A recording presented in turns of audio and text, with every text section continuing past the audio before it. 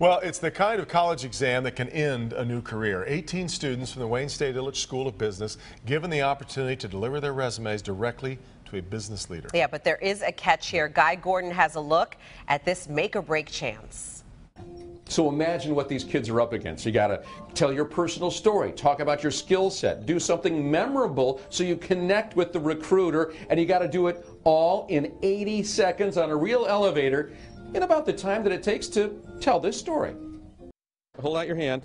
Hand. Not sweaty at all. No, I'm not. The stakes higher than any letter grade, and they did their homework. I was talking to myself in front of the window.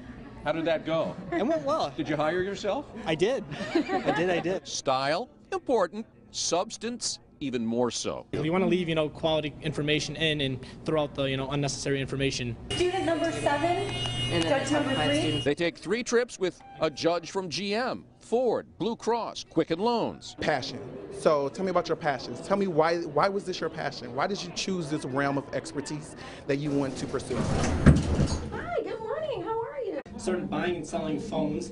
My mom lost a lot of money in share market. So since that day, I wanted to learn how stock valuation works. So I'm ready to begin my career in marketing. Thank you for your time. In recent studies, communication skills are the number one missing ingredient in today's grads. Soft skills, more highly prized than technical ability. They'll be using uh, these skills the rest of their life. I'm Spencer Crane. Five finalists enter a Shark Tank, three come out winners. And in first place, Andrew Barr.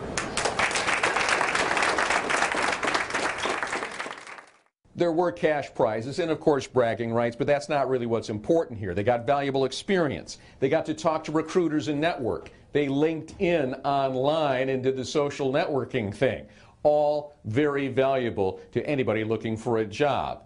And the most impressive thing, they did it with this elevator music going on in the background. From the RenCen, I'm Guy Gordon, Local 4. That's right. When you're practicing your elevator pitch, Make sure you plan for music. too. background It'll music. Be there. That's It's not an easy thing to do. Oh no, no, That no, is impressive. No, great drill.